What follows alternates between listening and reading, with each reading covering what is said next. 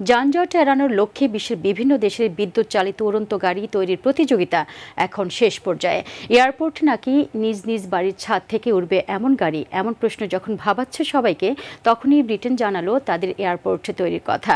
চলতি বছরেরই এই এয়ারপোর্ট থেকে গাড়ি উঠবে বিস্তারিত জানাচ্ছেন মার্জিয়া মান্নান।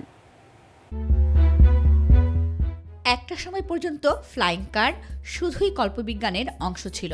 গত বছরই নিজেদের তৈরি উড়ন্ত গাড়ির সফর পরীক্ষা চালায় জাপানের স্কাই ড্রাইভ ইনকর্পোরেশন।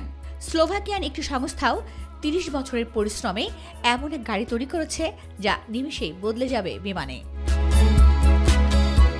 কিন্তু এমন গাড়ির জন্য এয়ারপোর্ট কই?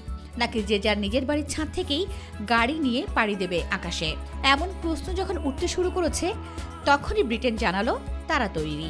আসছে নভেম্বরেই সবাই দেখবে সেই এয়ারপোর্ট। বিশ্বের সবচেয়ে ছোট এই বিমানবন্দরে ওঠানামা করবে শুধুই ফ্লাইং কার।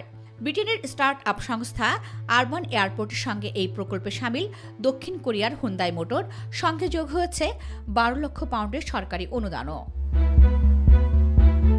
এয়ারপোর্টের নাম এয়ার ওয়ান পপ আপ জাতীয় এই গাড়ি বন্দরে থাকবে ছোট রানওয়ে আর চোদ্দ মিটার ব্যাসার্ধের ল্যান্ডিং প্যাড। গাড়ি আকাশ থেকে নেমে প্যাড ছুলেই স্বয়ংক্রিয়ভাবে তা ঢুকে যাবে বন্দরের মধ্যে।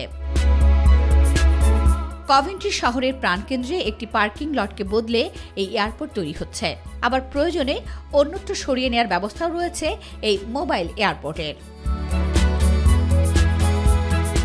এই খবরে কিছু মানুষ উচ্ছ্বসিত হলেও এই জাতীয় এয়ারপোর্ট তৈরির পেছনে সরকারও খরচ করছে জেনে সোশ্যাল মিডিয়ায় কটাক্ষ করতেও ছাড়েনি কেউ কেউ।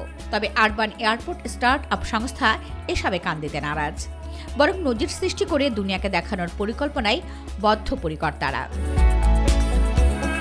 Marjia Mannan, my TV.